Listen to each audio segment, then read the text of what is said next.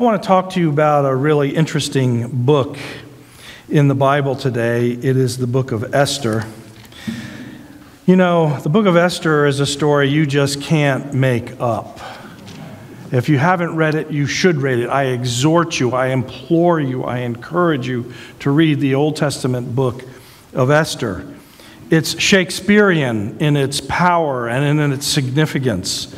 Of course, it's much greater than Shakespeare. It's an inspired word from God, but it has protagonists and antagonists. It has an incredible turn of plot. It has a very high moral themes that it pursues. Amazingly, in the book of Esther, seeing that it is a book of the Bible, it is a book in which the name of God is never mentioned. God's name is not mentioned once in the book of Esther.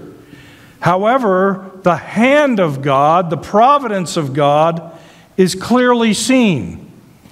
The book of Esther was written in order to explain to the Jewish people why they were um, celebrating a feast called Purim. Apparently, they had begun to celebrate it as a people, and they didn't quite understand the history behind it. And so, this was put down in the form of the book of Esther so that they would understand what the Feast of Purim was and why they celebrated it. It's really quite an amazing historical story. It happens in the reign of a king who, in the scripture, is called Ahasuerus. Ahasuerus or Ahasuerus is the way it's uh, uh, written and spoken in English, actually is the king that we know or have come to know through historians as King Xerxes, one of the greatest kings ever to live. He ruled a um, empire of 127 provinces that stretched all, it was the Persian Empire at the time, 480 before Christ, stretched all the way from India all the way to Ethiopia. Very powerful king with sovereignty over all of these nations, and he had officials in all of these nations. He uh, is mentioned, he's known to us in the historian Herodotus. Herodotus, in his book called The Histories, uh, describes the conflict between the Persian Empire and the Greek Empire. He's a well known, real figure in history, and this is information from the scriptures about things, important things that happened in his life and how he had an encounter with the living God, even though it was not by name, but it was through his providence. As I said, uh, Xerxes was very wealthy and he sponsored perhaps what we might call the first World's Fair. It was a 180 day event. And he displayed all of his riches and all of his artwork and all of his tapestries. And he encouraged people all throughout his empire to celebrate and to come to the capital, which at the time was Susa. That is uh, that his empire, the base of his empire, is now in what is modern day Iran and parts of modern day Iraq. And that's where the Persian Empire is. It's in uh, what is now modern day Iran, where its seat is, where its center is. And this was in a time when there was a transition of power at this time. And so King, uh, King Ahasuerus, Xerxes, at the end of this feast, wanted to bring in his wife Vashti to display her beauty, as it is said, to all of the people who are at the World's Fair, who are at the gathering as it's ending.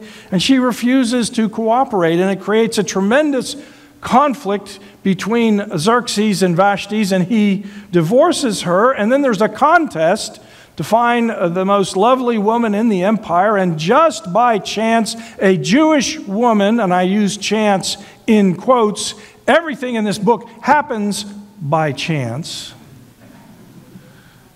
But everything happens on purpose. You see, it's not by chance, it's on purpose. But from our perspective, is by chance.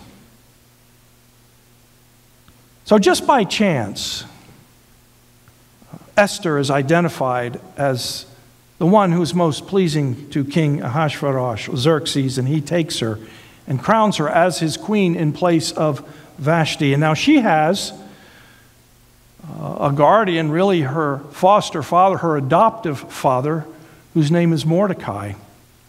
Mordecai has brought her up in the Jewish heritage. He's very aware of the fact that he is a child, a physical child, a descendant of Abraham. They are part of the exile that has gone from Jerusalem and Judea to Babylon and now in Persia. And so they are essentially strangers in a strange land. They are uh, a foreign race among the Persians. And there are many of them there because many were, were brought out by Nebuchadnezzar a hundred years earlier. And their remnants are still living there. Some went back to Judea. We read about them in the book of Haggai, in the book of Ezra, in the book of Nehemiah. Many of them went back to Judah, and there was a significant kingdom of Judah that had been established by this time and that was being established. A significant population. And all of the Jewish people are going to be affected by the events of this book. Now, Mordecai has adopted Esther when she became an orphan. She's raised in his home. And they are devoted to the Jewish faith and the Jewish practices and serving the God of Abraham, Isaac, and Jacob. And they are very aware that they have a special heritage. Now, Mordecai has achieved some kind of middle level significance in the kingdom of uh, Xerxes. He's not a known official, but he has access to the gate, the city gate, which is the place where judgment takes place. And he becomes aware of a plot to kill uh, Ahasuerus, to kill Xerxes. And he makes that known to the leaders of the people of Xerxes, of his security detail. And they identify these people, they are tried, and they are executed for treason. Meanwhile, a man named Haman, who's called an Agagite, which is related to the Amalekites, who traditionally have been enemies of the Jews in Judea, is raised to a position of great power. There is ethnic animosity between Haman, a very powerful king, a very powerful ruler in the Persian Empire under Xerxes, there is ethnic animosity between Haman and between Mordecai, who does not, by Haman's view, give sufficient honor to his position and to his place. And this so enrages Haman that he wants to institute something that has happened throughout history many, many, many times over. He wants to establish what we would call today a pogrom that is a persecution, an effort to exterminate the Jewish people. Because of his animosity toward Mordecai, whom he knows is, is a descendant of Abraham, one of the exiled Jews, and because he knows that he is part of a much larger people, he wants not only to address the issue of Mordecai's insubordination, he wants to address the issue of the entire race and he wants to eliminate them. And being the second most powerful person in the kingdom, he begins to initiate a plan to do that. It's diabolical. It is diabolical. It's spiritually empowered, it is demonic. Its purpose is to identify every Jew all throughout the empire and to allow the people to attack them and to take their property. Some of that property would be put into the king's treasury, the rest they could keep, and the idea was to completely to eliminate the race. I'm telling you this story really fast. But you have to know this to get where we're getting in this. You know, there have been pogroms of the Jews, that is, persecutions, attempts to exterminate the Jews throughout history. The first thing you see is, is in Egypt. There's an effort to destroy all of the firstborn or all of the children, the male children.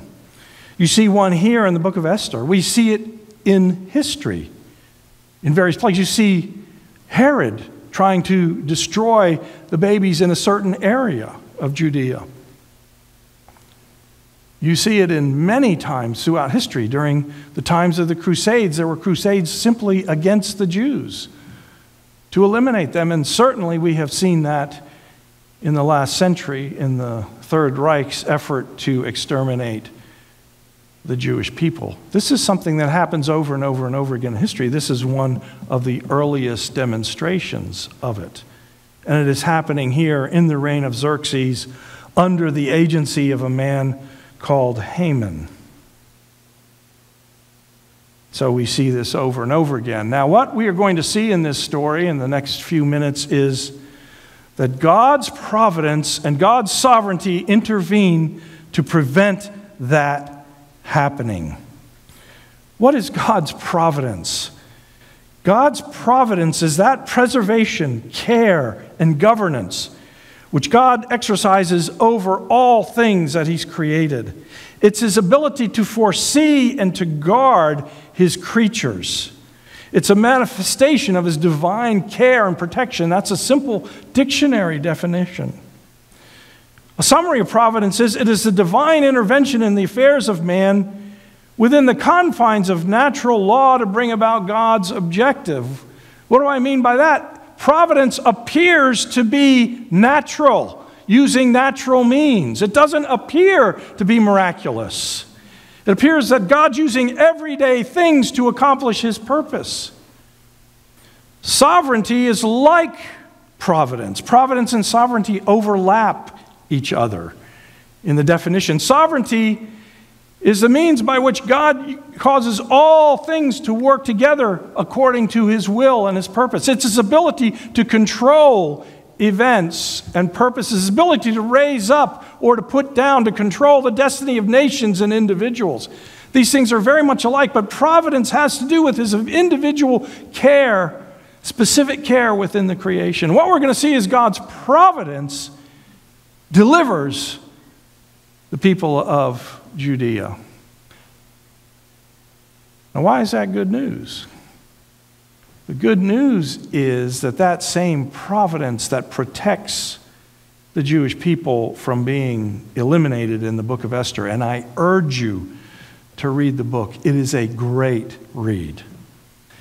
The same care that delivers God's people same care that delivers Esther and the people of the Jews is at work in your life as well.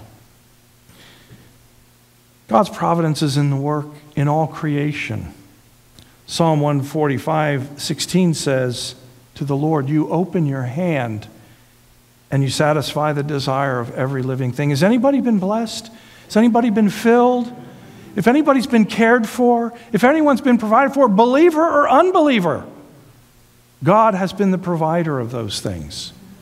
He causes his rain to fall on the just and the unjust, his sun to, sun to shine on the just and the unjust. He provides all things for all people. That's his providence and his sovereign care over creation. It is continual and it is recognized in Scripture.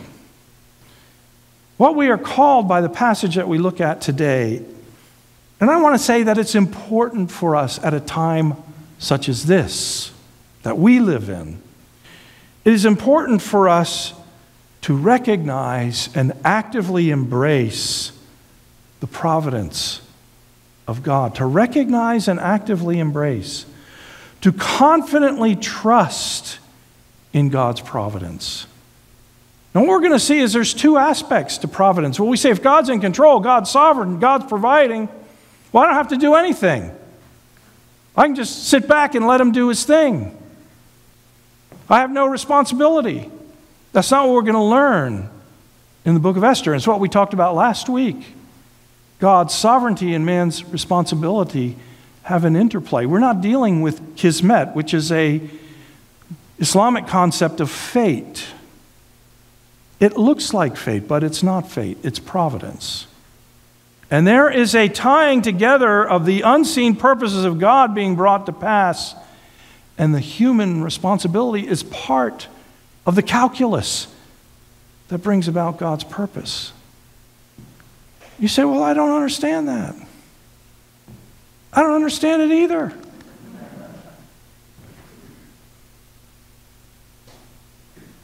But we live under God's sovereign authority and we are subject to His sovereignty. We are recipients of His providence but we are also active and responsible agents in the creative order, and our sin or righteous acts play a role in God bringing about his purpose, and it plays a role in our own destiny. We are moral beings made in the image of God. We're players in this stage. It matters how we respond. So there's an active part to providence.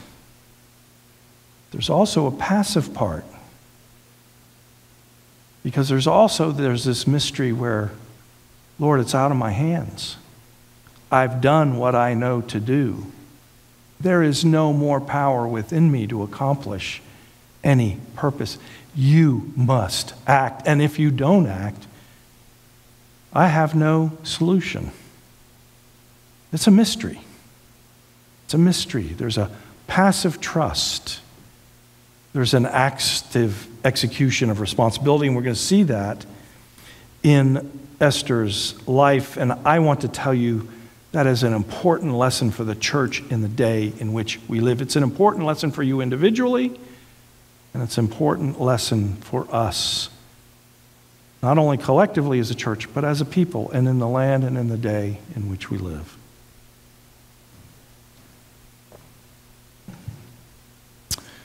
So, we see now the story. I've tried to give you the foundation. We see the story has now come to Esther in the fourth chapter. It's the middle of the book. Mordecai has found out about this plot that Haman has planned to destroy all the Jews, not only in Susa, not only in Persia, but all the way throughout the empire, and that would include Judea as well. It's this massive plan. It's as big as the plan of the Third Reich to completely eliminate the Jewish people. It's the same spirit. It's that same spirit that's working destructive and voracious and demonic. And so Esther finds out about it and says, well, There's nothing I can do. Mordecai said, Hey, go and talk to the king about this. You're the queen. You're the second one in power. Or you're not the second one in power. You're close to the one who is in power. Haman was the second in power, but perhaps Esther could have influence. And she says, I, I can't go before the king of my own volition. If you come before the king in this kingdom and you've not been called, you could be executed. And only if you are extended the invitation to continue to come in will you be heard and will your life be saved. This is dangerous business you're asking me to engage in, to go and talk to the king unbidden. And she tells that to Mordecai, and he hasn't called on me for 30 days. We're in a little bit of a separation here. Thing, the romance has cooled off a little bit, Mordecai. Okay? I'm not sure I've got any clout here. And Esther got this report, I mean, Mordecai got this word back. And he said, when Esther, it says, when Esther's words were reported to Mordecai, he sent back this answer Do not think that because you are in the king's house, you alone of all the Jews will escape. For if you remain silent at this time, relief and deliverance for the Jews will arise from another place. But you and your father's family will perish. Very interesting intersection. Mordecai says, I know God's sovereign purpose will be accomplished, but I know that there are consequences for how we fulfill our personal responsibility. That's what he's saying. And who knows? But you have come to your royal position for such a time as this. And then Esther sent this reply to Mordecai Go, gather all the Jews who are in Susa and fast for me. Do not eat or drink for three days, night or day. I and my attendants will fast as you do. When this is done, I will go to the king, even though it is against the law. If I perish, I perish. And by the way, Herodotus makes it very clear that Xerxes was a very impetuous and potentially violent man. She knows what she's dealing with here. If I perish, I perish. And so Mordecai went away and carried out all Esther's instructions. Well, I have a few questions in this passage. Why does Mordecai say, deliverance will surely arise for the Jews? I'll tell you why he says it. Because he is aware not only of God's providence and how it works, and that's what he's expressing confidence in. God will cause this to come about. But he also knows God's word and God's decrees. And he knows that God has decreed to Abraham, out of your seed shall come one to bless the nations, through whom the nations will be delivered. He knows that God has put his hand upon the people of God to protect them and to watch over them. He knows that there is a covenant between God and his people, and that God is committed to protecting his people. He knows this through Scripture, he knows this through the prophets, he knows this through the Old Testament. So he knows deliverance will arise. Then the question is how does God bring deliverance? Quite interestingly, he brings it through providence. He brings it through, especially through timing. This book is about timing that is just phenomenal. It's so beautiful. Timing is the word kairos in, in, uh, in the Septuagint, the Hebrew Bible translated into Greek. We know this word. It's a word that means a ripe season, a time of opportunity. And Mordecai says to Esther, Who knows but you have been brought to the kingdom for except for a kairos in the Septuagint, the kairos such as this. This wasn't an accident, Esther, that you came into power. This wasn't an accident that you were chosen. This was God's predetermined plan, and we're recognizing it. And there's a purpose for you being where you are. And that puts a responsibility upon you. Nothing is an accident. Even when Esther goes into the king after the prayer and fasting and he receives her, he doesn't just blurt out, she doesn't just blurt out her request. She doesn't just say, Haman's got a horrible plan. Would you please get rid of him? That's not how it goes. She's very uh, kind of seductive about how she does it. Oh, you want to know what I would like? Well, why don't you come to a feast that I've prepared tomorrow? Make it a little bit kind of, okay, what's going on here? So she puts it off a day. But that day is crucial to God's providence unfolding because on that day, Haman goes out from the king's presence. He goes home and he says, Man, this is my lucky day. This is wonderful. I am going to have, uh, be, I am uh, just climbing up in the kingdom of the king. And I am going to uh, be at the banquet with Queen Esther. No one else has been invited. But one thing bugs me it's this guy, Mordecai, who's constantly making uh, me angry with his disrespectful attitude. And his wife gives him some great advice hey, make a gallows, and then after the feast tomorrow, you can hang him. You're the second most powerful person in the kingdom. And he says, Great idea. So he has it made. And meanwhile, the king can't sleep. That one night delay just so happens that he can't sleep. Just so happens by accident that he calls for the annals, as someone said, a nice boring book that could be read to him so he could go to sleep. And they're reading this nice boring book to him, and in the boring book it says, at one point in time, Mordecai turned into the KGB some folks that were plotting against you, king, and uh, the king said, Hey, we ever done anything for that guy? They say, No, nothing's been done. He says, Okay, we'll take care of it. And so the next day, the, the king says, Okay, who's in the outer court? And just so happens, by accident, that Haman walks into the court. And the king asks Haman, What should be done for the man whom the king delights to honor? And Haman says, Well, who would the king want to honor but me? And he gives him this great, I guess, his own fantasy of being led through the city on the king's horse with a crown, with a robe that belonged to the king and being exalted. And that's what he wanted. Unfortunately, it wasn't given to Haman, it was given to Mordecai, and there was this complete reversal of fortunes. And that began the downfall of Haman. And those of you who know the story know what happened. Haman was, was uh, just ashamed. He was flummoxed as he led uh, Mordecai through the city.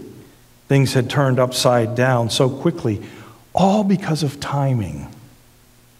All because of the time that the king couldn't sleep. All because of the book and where they happened to read. All because Haman happened to be the one who was in the court who was being brought in. All because of providence. We know none of this is an accident, and Haman himself believes in providence. You see, there's a counterfeit providence in this book. Purim, it's a Persian word. Purim is a kind of casting lots. What they did was Haman, when he was deciding when to initiate this battle against the Jews throughout the empire, he cast lots. It was an occult form of divination to determine when the gods would say, or the spirits would say, and we know what spirit it is, would say, what's the most propitious day for us to do this. And so he's calling upon demonic power to give him guidance because he knows timing is important. Everybody knows timing is important. Everybody understands there's a concept of, they call it fate or they call it chance, but we know it's providence. It's something else. God is in control, and God is working. You ever had a experience of providence? I had an amazing experience of providence. Uh, I'm sure I have them all the time. We all have them all the time. But I had one that was just visible. I've told you this before, but I'm going to tell you again.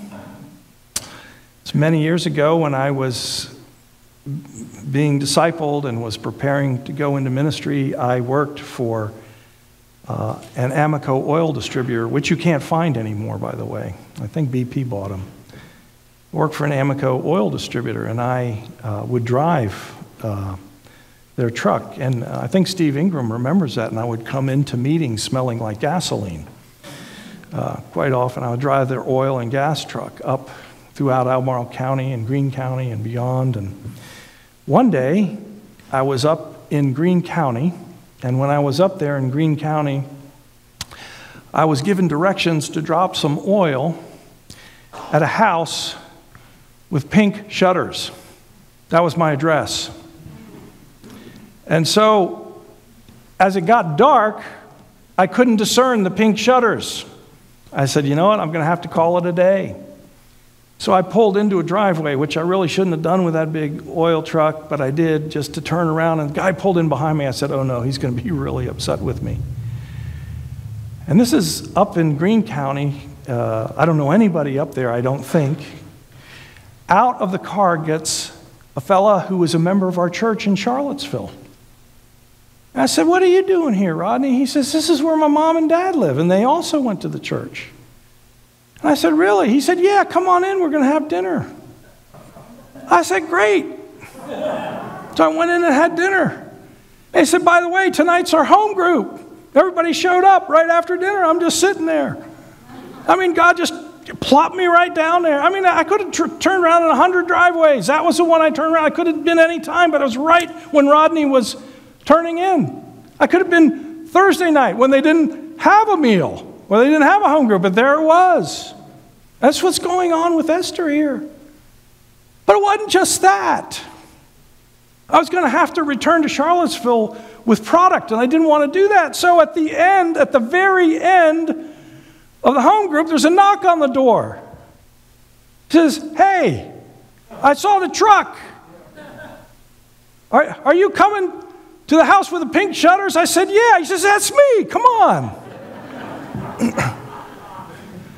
that was great. It was like it was just like God just opening the curtain. You think you think I can't handle this? You think I can't handle this? Yeah, that was, that was I was just like, it was just, that's what it was. It's beautiful. So, we see just a few things here.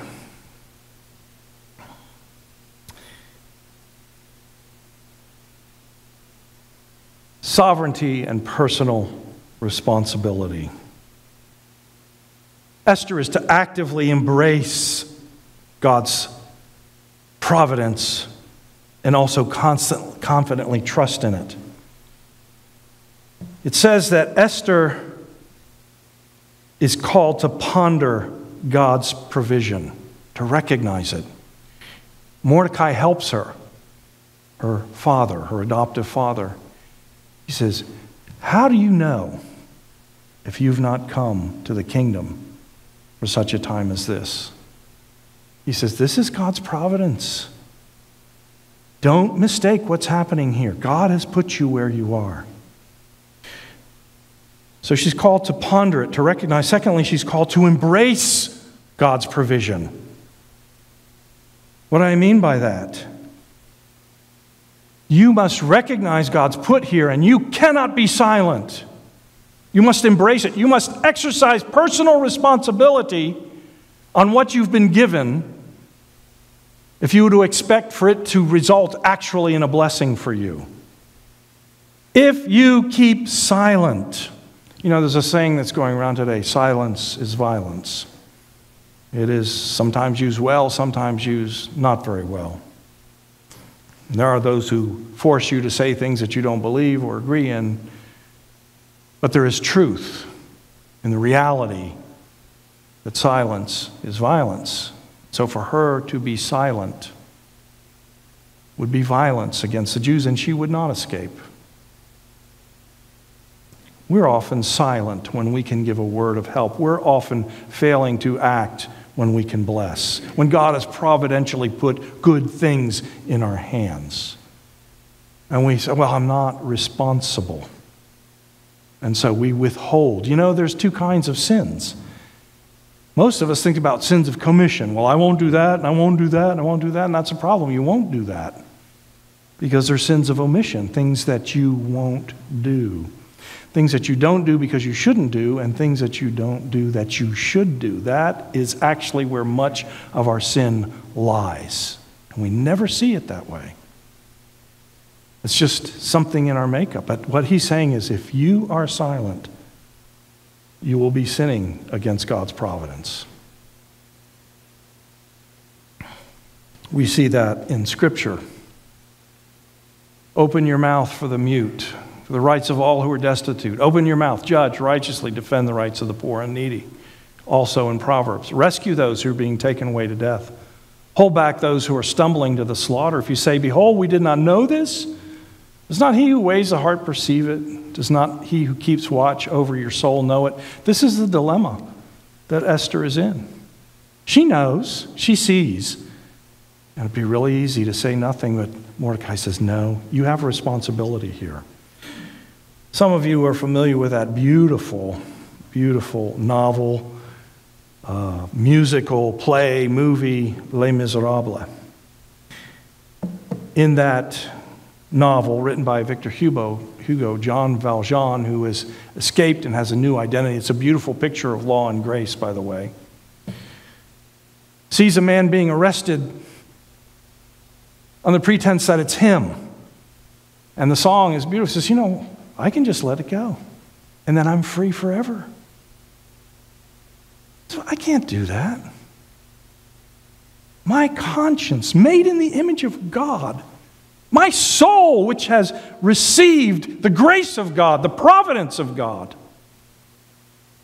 will forever live under a shadow if I let that happen.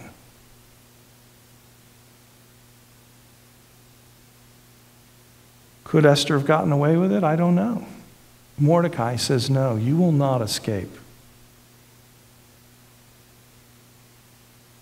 Esther is called to fight for sacrifice for God's provision. In other words, there's action that has to be taken.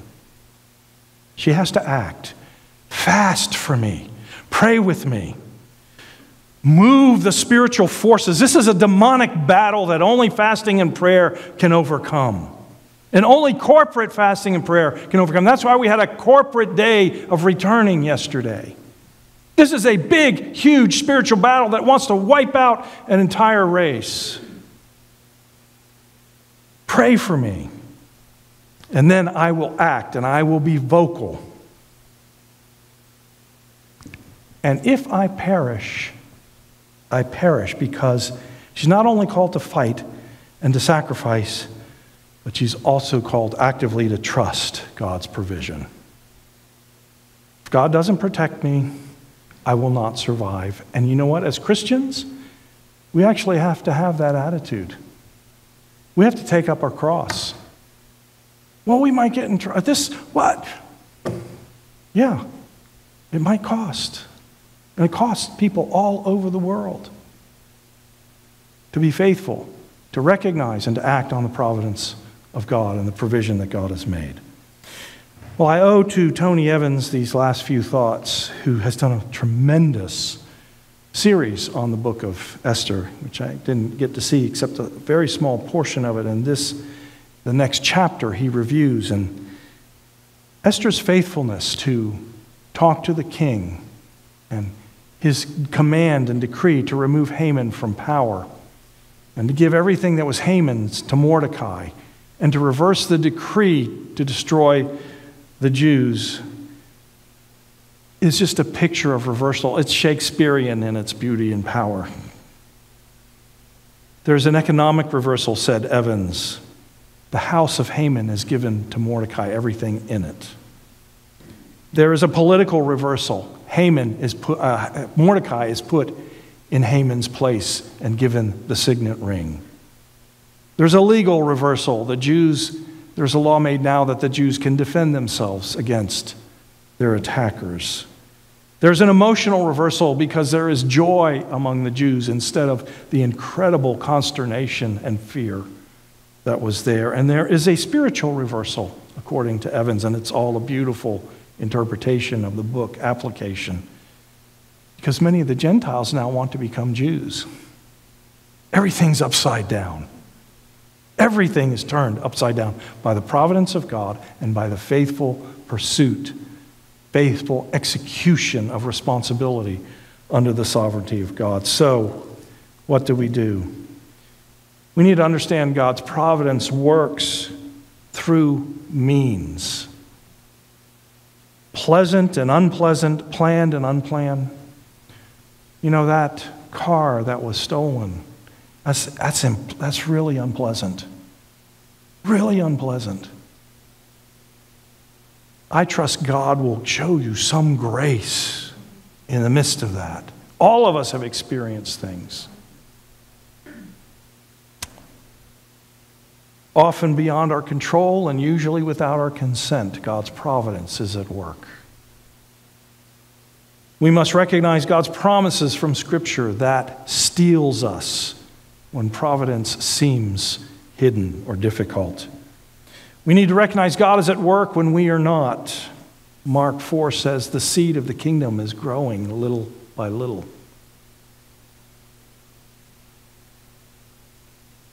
Night and day, unknown.